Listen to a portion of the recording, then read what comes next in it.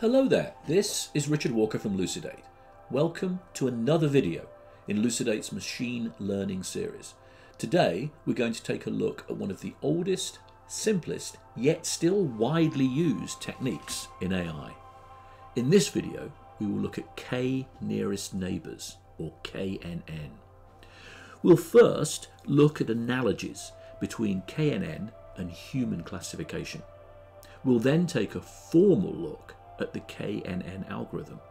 We'll apply it to our loan dataset and finally compare it to other supervised learning methods, including decision trees. KNN is based on a very simplified view of how humans discriminate and classify. Let's formalise this. We start with feature detectors. These could be our biological senses or sensors that we have built. Let's call the output of these feature detectors feature vectors. These feature vectors could be neural patterns in our brains, electrical signals, pixel intensities from a camera, or records in a spreadsheet. We feed these feature vectors into some sort of comparator. This comparator is based on a library of examples that we've learned through our experiences or formal education. We are able to recognize similarity between our detected features and patterns that we've already seen. This diagram is a general formulation and could be applied to anything we've learned, from very reflexive to highly cerebral. For instance, we've learned to do things like catch a moving ball. So the feature vector would be what our brain sees as the ball is travelling towards us. And the classification would be the patterns of muscle tension and relaxation needed to catch the moving ball.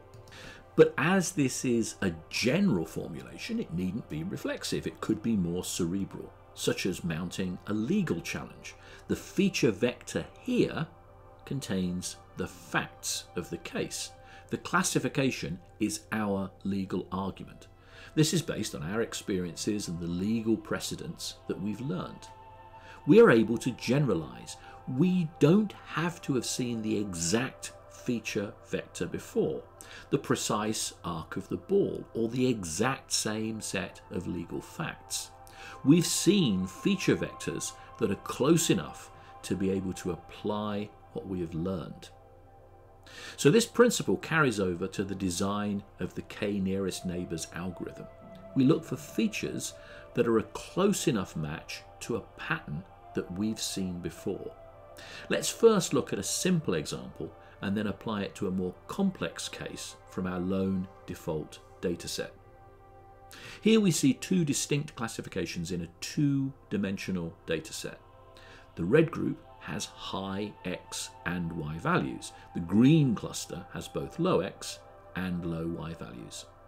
If we have an observation in yellow, x1, it would be easy to classify it as a red item. While it is not identical to any red item that we have yet seen, it is closer to all the red items than it is to any of the green items.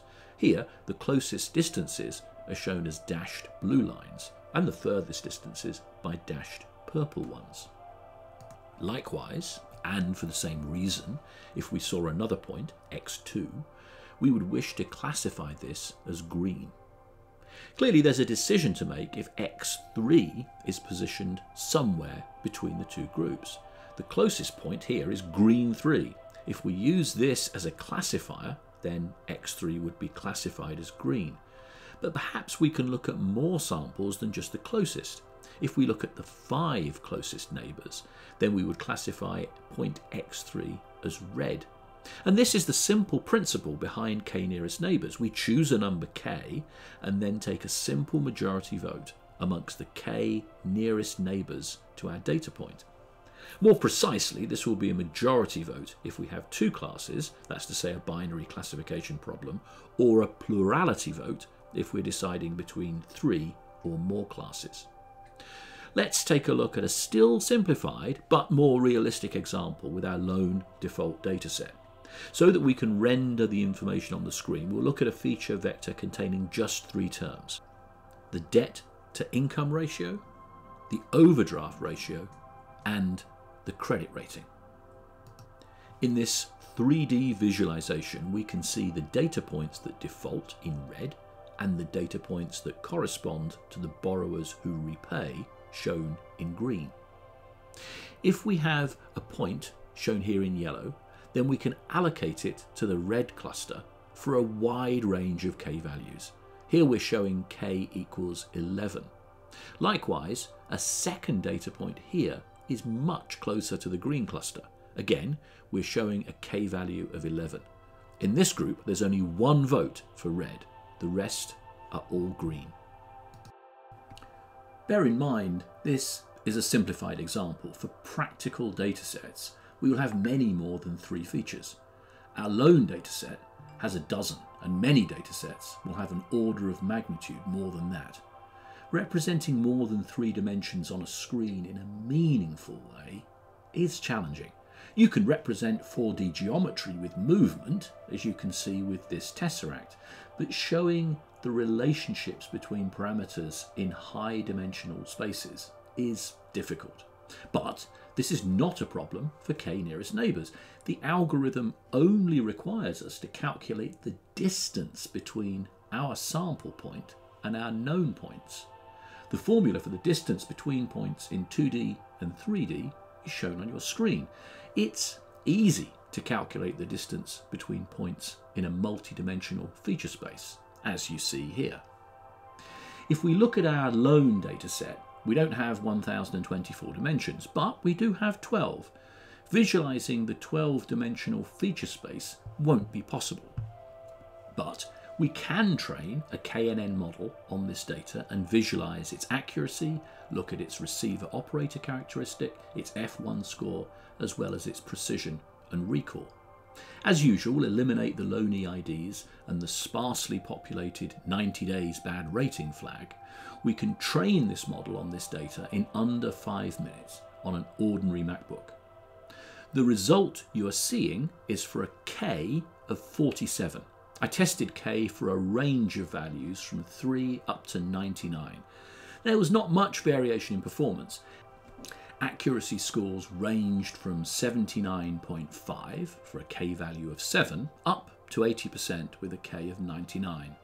The best overall scores, F1, precision, accuracy and recall, were achieved with a K of 47.